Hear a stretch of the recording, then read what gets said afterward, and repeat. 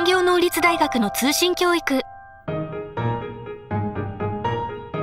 経営学についてあの学びたかったということで入学しました。会社員を務めているさなかですね。いかにこう自分が仕事をしやすくすることができるのかと考えた時がありまして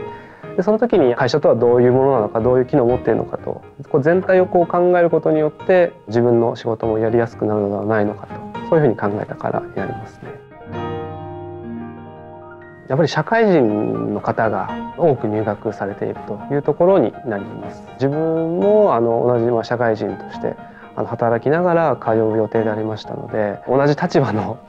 方々がたくさんいらっしゃるというところで自分の思いですとか考え心理的な面は共有できるのではないのかなというところで。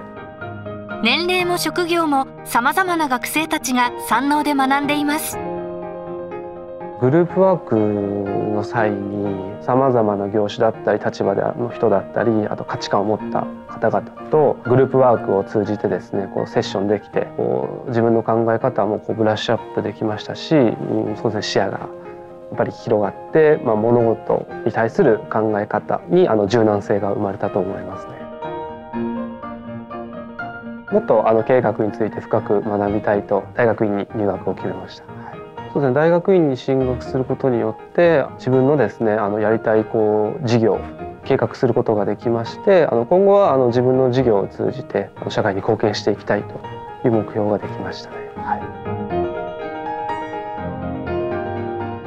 非常に学びやすい環境になるので自分のやはり可能性を広げられるいいところだと思いますのでぜひともあの入学していただければと思います。詳しくはホームページで